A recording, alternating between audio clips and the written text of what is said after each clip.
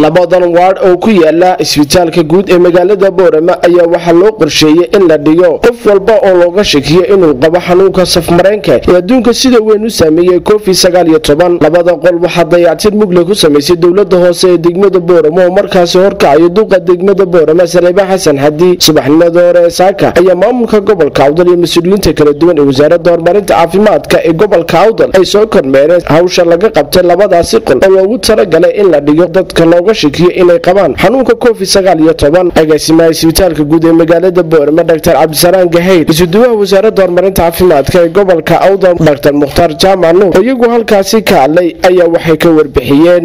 Runtii waxaa mahadnaq mudan goobtanan taagannahay oo markii hore siday ahayd haddii sawirkayga arki lahaydeen iyo iminka dhismaha ka socda laba faraqoo aada u weyni u dhaxeeyo dowladda hoose ay fulinayso waxay kafaalo qaadeen inay dayactir iyo dib habeyn ku sameeyaan si loogu diyaargaroobo dadka qaba xanuun dadka loo malaynayo xanuunkan inuu covid intaanan la baadhin meeshii la dhigi lahaa.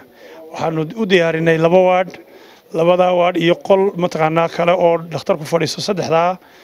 Saddexdii qolba way ribeergareeyeen maanta kolley waxaan u taagannahay hawl muhiim ahayd oo beryahan baan hadal haynay oo ah booskii loo asteeyey inaan ku samayno triagka ama dadka kale horraysiintiisa cisbitaalka guud inaan bal wax yaro dayactira ka qabanno hawshani waxay ahayd kolley lacagtan iyo balaankani meelo hor inoogu yaalay waxaan isla garannay xaaladda jirta darteed inaan meeshaas ku dayactirno.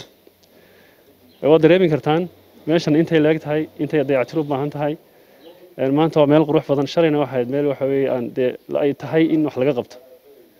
Duqa degmada boorama salebaan xasan hadi iyo barasaabka gobolka awdal cabdiraxmaan axmed cali oo hadalkaas ka daba qaatay ayaa igna dhankooda waxay xuseen. Aad iyo aad baan waxaan ugu mahadnaqayaa.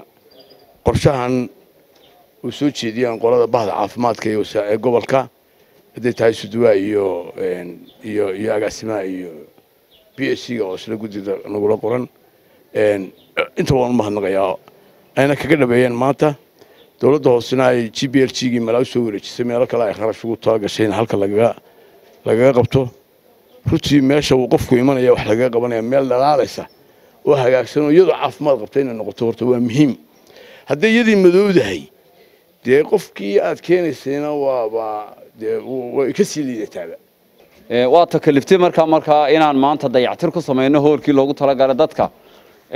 Waana baahi jirta oo ina hor taalla hawl kasta oo aanu haynay waxa maanta ka muhiimsan hawsha halka aan ka wadno ka dawlad hoose ahaan rool badan baan kolley ka qaadan doonaa hadduu ilaha idhaahdo hawshana waxaan u samaynay waa baahi jirta. Markaan maamulkii caafimaadka dhakhtarka aan iswaraysanay ay isbitaalkii noo warrameen sida ay wax u jiraan iyo xaaladuhu halka ay marayaan iyo baahida taalla waxay nagu khasabtay inaan markaa baahiyaad kale oo markii hore noo qorshaysnaa inaan tan ka soo hormarno. Maxamed xasan ismaashad bere wararka telefishinka sahan